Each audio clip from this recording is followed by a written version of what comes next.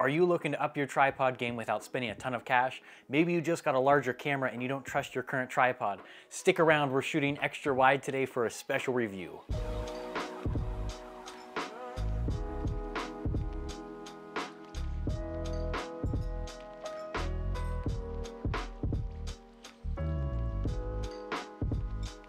Welcome to David Does. Today, David takes a look at the small rig AD01 tripod.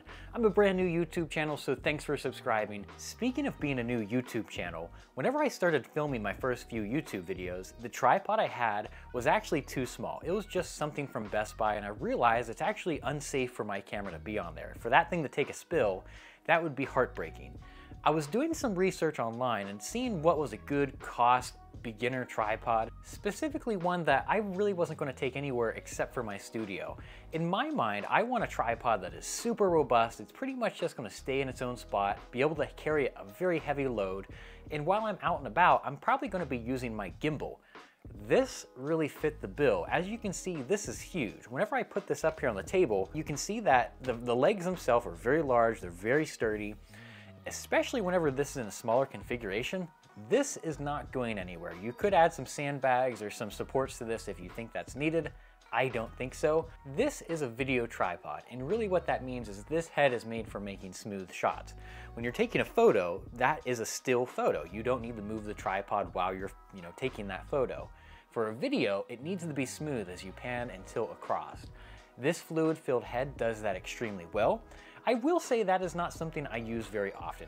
My camera stays still whenever it's in the office or whenever it's in the studio. Whenever I'm out and about, I normally use my DJI gimbal to take care of those types of shots. Speaking of that, the actual plate you attach your camera to is super nice. This head will accept a DJI RS2 plate.